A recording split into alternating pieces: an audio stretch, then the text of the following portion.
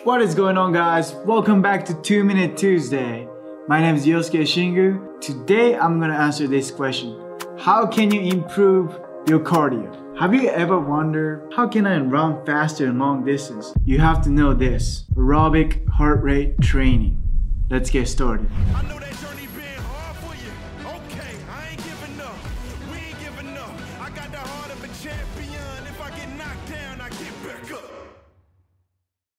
Let's get a 2 minute timer started.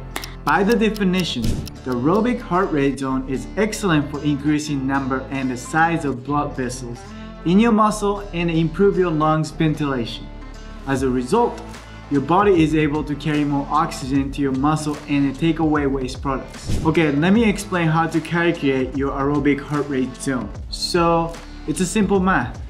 180 minus your age.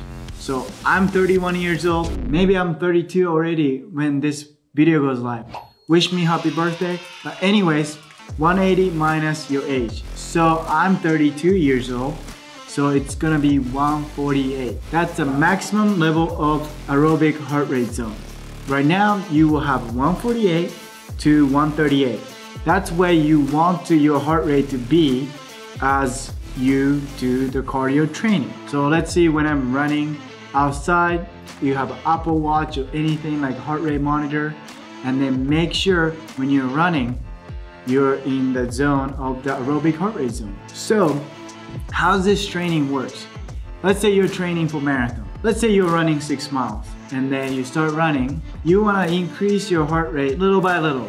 Just warm up for like five to 10 minutes. And then you get to aerobic heart rate zone like 138. I would recommend to like keep running like 142 range. So maximum and then minus five. That's where you wanna be in average. Whenever you start implement aerobic heart rate zone, you almost feel like you're walking. Trust me. Essentially what happened to your body is your heart's gonna get used to your uh, dynamics, like your cardio. It actually takes months to train like this way. However, this is the only way you get faster. And then whenever you're running, let's say 11 minutes pace and then six miles, and then your heart rate is about 142, somewhere around there. And then next month, you can start running at 1030 pace. And then it's the same heart rate as a 142.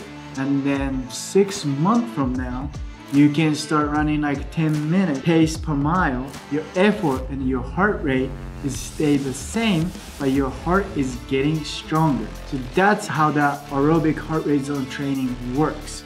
It's not about how hard you're going, but you have to keep track of your progress, either distance or duration, duration of what you're doing cardio for. So you can do the same amount of cardio maybe once a week, twice a week, or whatever your session is. It's gonna take a while, guys, but eventually you're gonna get fast. But anyways, I hope this makes sense and hopefully you guys like this video. And then smash the like button, don't be a half stepper, and then always be frank. See you guys next video. Peace.